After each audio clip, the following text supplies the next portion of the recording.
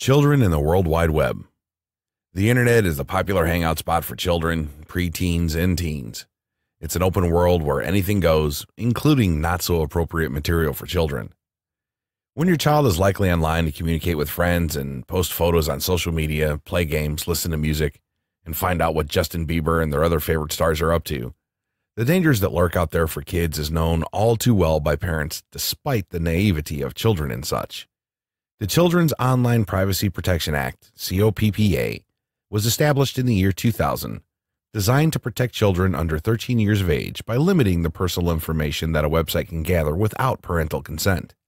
Because of this Privacy Protection Act, many sites, including Facebook and other social media platforms, restrict use of their website to individuals over the age of 13. If you happen to have a child that is 13 years of age or younger, it is important that you do your part to keep them protected by limiting and monitoring their online activities, ensuring they comply with the COPPA Act.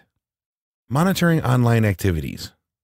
A number of tools are available that help you control internet access, the websites that your kids are visiting, and online predators.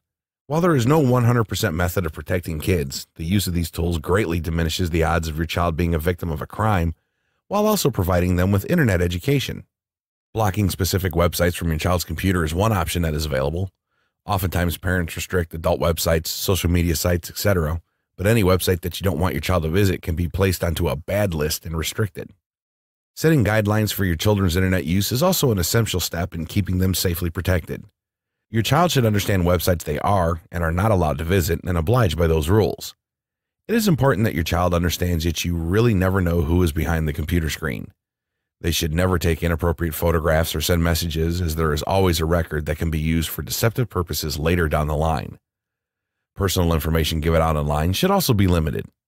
This includes real name, address, home telephone numbers, etc. Internet safety tips. Additional tips that can help you keep your child safe and protected while using the internet. Inform yourself of how to use a computer if you don't know already. Learn your computer as well as your child's if they're using a separate unit. Keep the computer in a common area where you can easily see what websites your child is visiting. Create passwords for your children so that you are aware of them at all times. Monitor credit cards for unusual charges. Monitor the amount of time that your child spends online. Educate your child concerning internet safety. Alert them to the dangers that exist and how to respond should they be encountered, receive a threatening or inappropriate text or email, and otherwise feel unsafe while online. Learn who your children's friends are, both online and offline. Block chat rooms and forums, as these sites are risky to children. For more free educational content, visit learnforfree.biz. Content produced and distributed by AllSuperInfo.